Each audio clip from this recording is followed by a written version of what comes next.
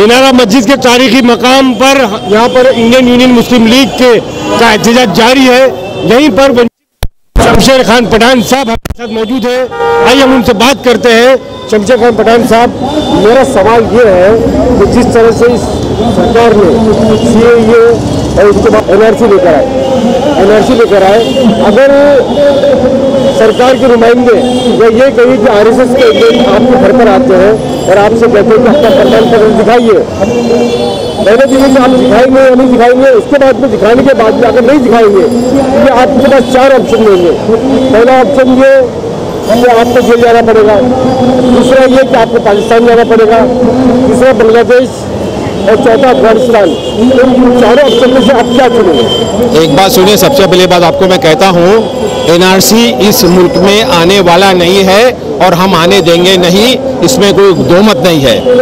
ये सरकार जो है, ये एक विशिष्ट मुसलमानों को अलग करने की कोशिश कर रही थी, लेकिन उन्हें पता नहीं कि एनआरसी की वजह से सिर्फ़ मुसलमान नहीं 40 फ़ीसदी हिंदू भी उससे मुतासर होने वाला है।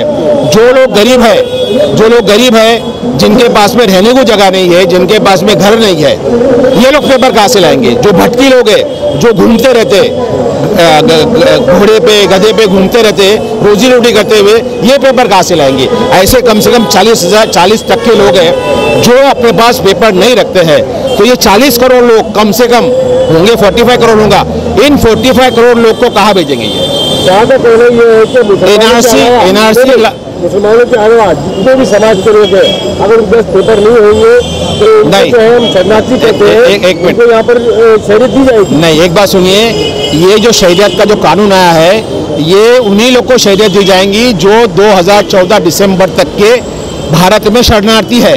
14 तक के। 14 तक के जो लोग हैं जो शरणार्थी है ये 2000 भी नहीं होंगे रिकॉर्ड के ऊपर। शरणार्थी वो कि, कि किसी मुल्क में पे जुल्म हो रहा है और उन्होंने गवर्नमेंट को अप्लीकेशन देना चाहिए कि मैं शरणार्थी हूँ मुझे शरण दीजिए। मैंने इन्फॉर्मेशन निकाली है। सौ लोग भी ऐसे नहीं हमारा विरोध नहीं है। लेकिन आप जात पात कर रहे हैं हमारा विरोध भी उसमें नहीं है। लेकिन उसके बाद में चौदह के बाद में आप जो एनआरसी करने वाले हैं वो एनआरसी में आप क्या क्या करने वाले हैं, ये सवाल उनसे पूछा गया। चौदह के बाद में जो आदिवासी पेपर नहीं दे पाएगा, उसके बाद में जात पात नहीं चलेंगी। चौदह के पहले वालों को सिटीजनशिप देने वाले हैं।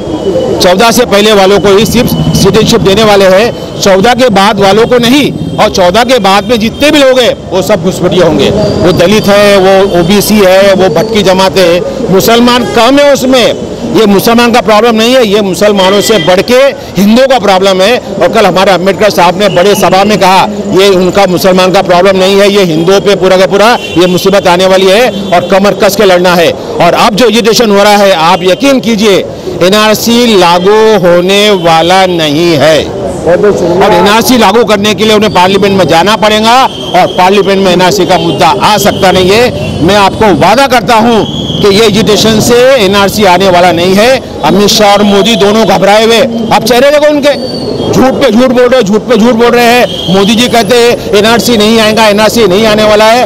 वो बिल्कुल अभी सच कह रहा है कि भाई एनआरसी लाने के बाद में देश में बहुत ज़्यादा दंगे फैल सकते हैं। इसलिए एनआरसी की बात बोलिए और आराम से रहिए। कोई आपको देश से निकालेगा नहीं। अगर कोई आपको निकालेगा तो सबसे पहले हम आगे बढ़ के उनसे लड़ेंगे और आपकी हम हिफाजत करेंगे। हमारा वादा है इंशाल्लाह। जैसे कि 2020 अप्रैल से शहरियत के लिए फॉर्म हम भरा एनपीआर एनपीआर एनपीआर कर रहे हैं नेशनल पॉपुलेशन रजिस्टर। वो कह रहे हैं कि हम एनपीआर ला रहे हैं। एनपीआर मतलब नेशनल पॉपुलेशन रजिस्टर्ड कि कितने लोग इस देश के नागरिक है। इसके लिए आपके पास से आपका नाम पूछेंगे, आपका जन्म दाखिला पूछेंगे, खत्म मामला हो गया। आपको सिर्फ़ ये मालूम देनी है। अगर अगर कर रहे हैं तो।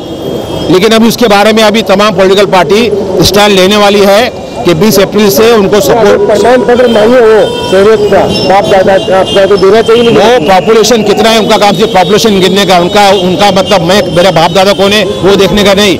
मैं मैं हिंदुस्तान में हूँ नेशनल पॉपुल मैं पॉपुलेशन का एक पार्ट हूँ। मेरी मालूम ले, लिख दे, लेके चल जाओ बोल के। मेरी मेरी और मेरे बाप दादा की मालूमात, वो लेने की ज़रूरत उनको नहीं है, बस खत्म। वो मालूम देनी भी नहीं है और वो इंशाल्लाह ताला इसके ऊपर फैसला जल्दी होगा कि तीस अप्रैल को उनको सपोर्ट करना कि नहीं करना या उनको बाइकआउट करना। अगर बाइकआउट हो जाएगा तो किसी ने भी कोई मालूम देनी नहीं आपको, जो करना है कर लो। ये बात भी हो सकती है बाद में। इसके लिए वक्त है, क्योंकि अभी कल ही एनपीआर की बात हो रही है। अभी बहुत जल्द फैसला करेंगे उसके ऊपर बहुत बहुत शुक्रिया आपने बात करने के लिए वीडियो जर्नलिस्ट शाहिन पटेल के साथ राशिद उद्दीन